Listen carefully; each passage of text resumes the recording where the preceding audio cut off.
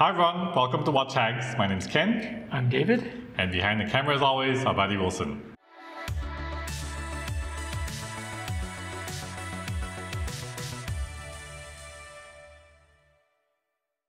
Welcome to part two of our homage to Tudor. Today we're going to take a look at two models that we feel are really unique in the line and discuss them in greater detail. First, the Pelagos, and the second, the Black Bay.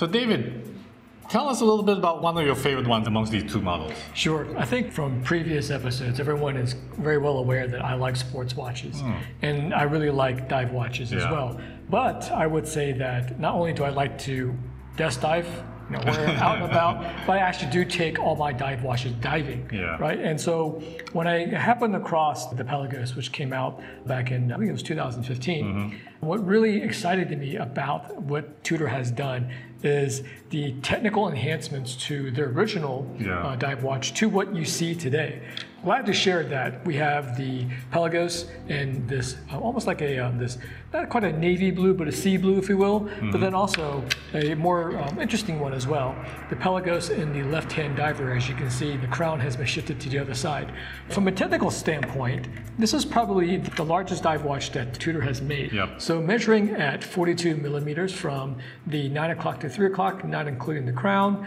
about 14.3 millimeters thick and about 50 millimeters lug to lug. Mm-hmm. Now, these may seem, or sound rather, kind of daunting dimensions on people's wrists that are sub seven inches, which I am. I'm about a six and three quarters inches.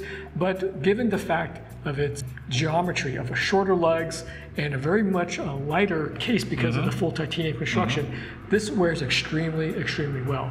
So when you talk about these capabilities rated at 500 meters. It does have a helium gas escape valve, which for normal mortals and normal uh, recreational divers, you're really not going to use it. Yeah. Right? But it's there just in case if you do become a saturation diver and you have to spend weeks or maybe months on end at depth and then you have to resurface. The helium escape valve will allow the smaller molecule of helium to escape without popping out or exploding the watch itself.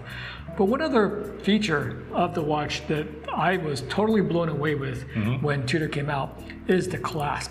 This by far is probably one of the most interesting design and yep. most comfortable clasps, mm-hmm. primarily around the fact that it has these independently adjustable micro adjustments that you can do on the fly.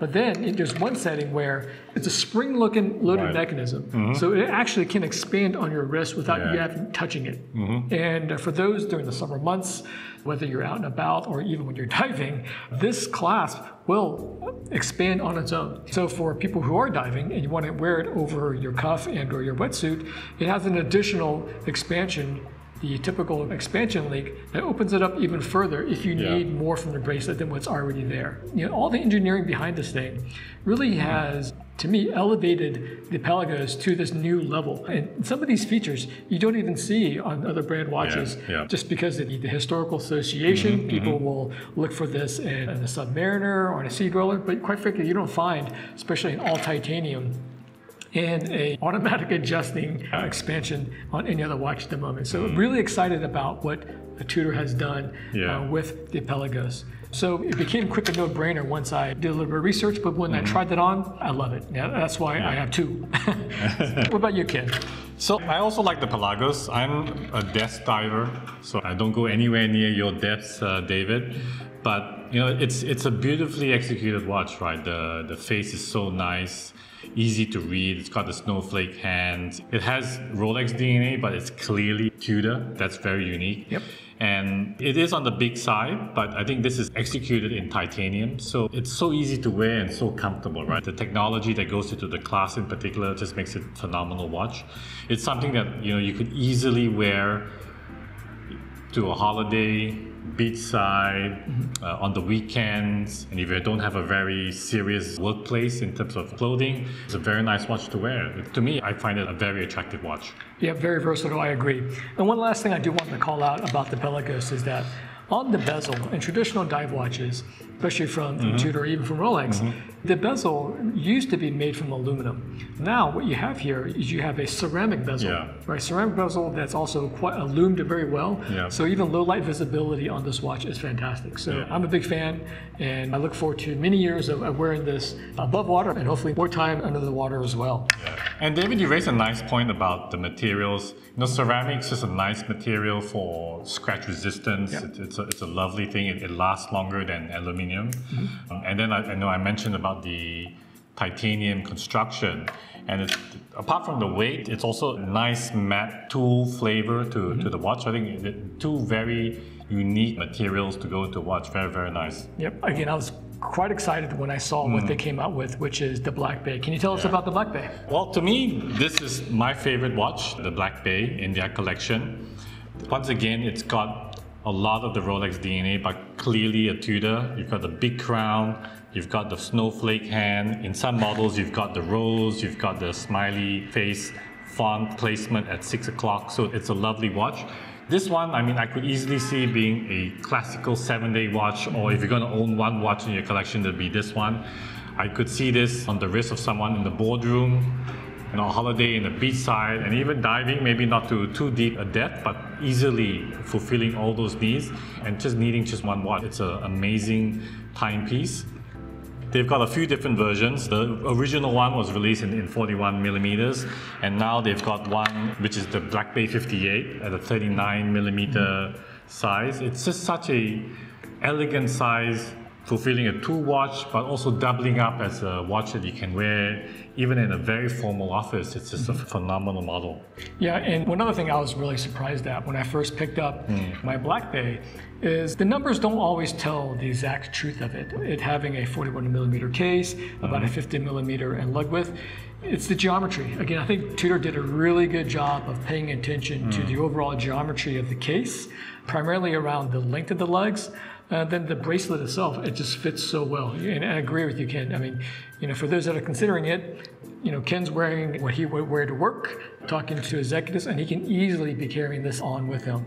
But at the same time, for myself, I could be wearing a short sleeve out and about, Yeah. and I think it looks just as Yep, just totally nice. agree. Yeah, totally fantastic. agree. One of the other elements of the case design that's unique from Rolex is that Tudor's now also put different angles into the case uh, as opposed to just a one smooth angle. So I think that's also adds a very visual dimension to Tudor that you don't see in its sister brand. So I think that's another very nice addition as well. Yep. Um, I know earlier we were talking about that sometimes we get a little confused as to the whole lineup of, of these watches at Hmm. Yeah. Tudor. The weight that I'm keeping it straight is that for 41 millimeter, it is the Black Bay, Mm-hmm. right? For 39 millimeter, it's the Black Bay 58. Yep. And then, of course, on the larger case size, right, you have the 41 millimeter Black Bay, Mm-hmm. but you have it in the stainless steel with a stainless steel bracelet that you see right here. You also have in the 41 millimeter on their own creation of this fabric strap. You also have variants where it's, it has a bronze case, but it comes with a fabric or leather strap. Then also they came up with a new all black Black Yeah. Bay as well. And then on the 39, like the one you have, right? they have obviously the one with you have is a stainless steel Yep. and a stainless steel bracelet. And what else have you seen in that side that And you like? they've got it in silver now. Yes. They've got it in bronze. They've even got it in precious gold, Mm-hmm. right? But to be honest with you, one concern that I do have is that there are now more than 10 variations of the Black Bay across that model. I think that's probably deviating a little bit from the golden formula of Rolex.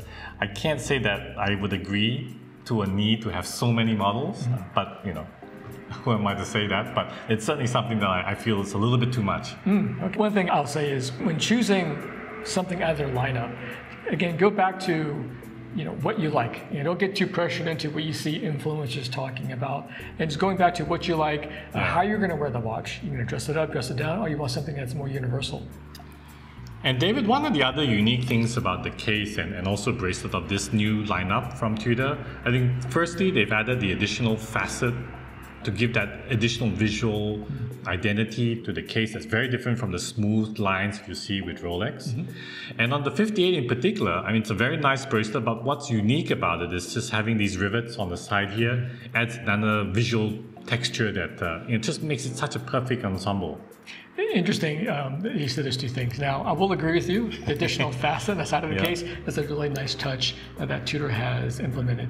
However, on the bracelet, Hmm. it isn't very comfortable, but it is a faux rivet, meaning that you can't actually take out the rivets, Yeah. uh, unlike the original bracelets that you saw from Tudor and even Rolex back in the 60s and 70s.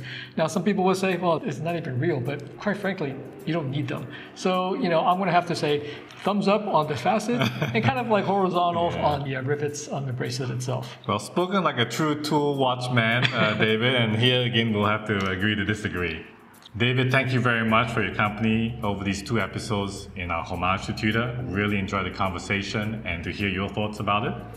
Thank you very much to everyone as well for being with us today. Please let us know what you think. We would love to hear your feedback, so do drop us some comments. Smash the like and subscribe button and tell us what you'd like to see in a future episode. Until then, may time be on your side. We're the Watch Hags.